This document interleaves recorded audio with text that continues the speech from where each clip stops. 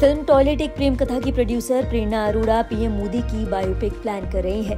Lead role में वो अमिताभ बच्चन को लेना चाहती है। प्रेरणा को लगता है कि नरेंद्र मोदी से ज़्यादा हैंडसम डायनेमिक और योग्य इंसान कोई और नहीं। प्रेरणा पीएम मोदी की फ़ैन है। उन्हें लगता है कि वो पीएम मोदी पर एक बढ़िया फ़िल्म बना सकती है। एक प्राइवेट मीडिया हाउस से बातचीत करते हुए प्रेरणा ने कहा कि वो पीएम नरेंद्र मोदी पर एक फ़िल्म बनाना चाहती है। इंटरव्यू में उनसे सवाल किया गया कि क्या वो पीएम मोदी की फ़ैन है। उन्होंने कहा, जैसा शत्रुघ्न सिन्हा जी कहते हैं, पीएम मोदी इस देश के सच्चे एक्शन हीरो हैं। प्रेरणा से ये भी पूछा गया कि पीएम मोदी का रोल कौन करेगा तो उन्होंने कहा, अमिताभ बच्चन।